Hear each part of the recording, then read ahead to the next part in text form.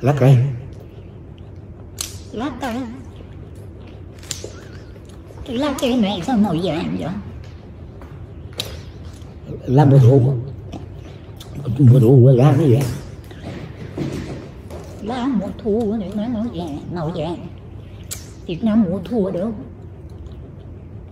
nè hà em đó nó phải chạy rồi em mà quên làm cô nó cũng thấy cái lá vàng nhiều lắm mà đâu được ăn đâu sao lá vàng Việt Nam ăn được vậy? Lá này là thuốc này là ho hả? Ho quá ăn như nó khỏe lại. Lá vàng là một cái thuốc ăn cho khỏe lại. Này ai mà không bệnh nữa. Ăn vô nó bị khùng nữa. Tưởng nghe anh đau khùng rồi tôi ăn không sao mà. Đúng không khùng bị khùng đứa thôi khùng cặp gia đình khổ lắm. Còn cái vàng đó là vàng gì vậy? Cục này à, xà bông. Xà bông.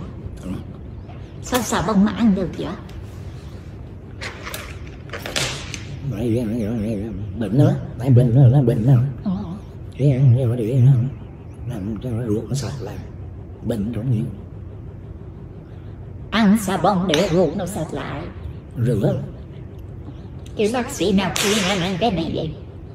Bác sĩ có khuyên ăn thử là nó sạch không? Ăn thử thôi đang thử mà.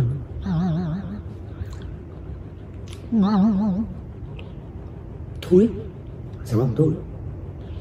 Thế là em cũng ăn thử nó cái vị nó thúi như nào được không? Không.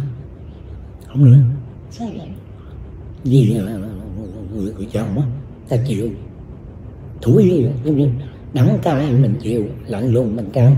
Thúi tự ăn không tự vợ ăn. Vì thơm tự vợ ăn? Giờ nhưng mà em vẫn muốn ăn thì sao? Chẳng muốn ăn. Ừ.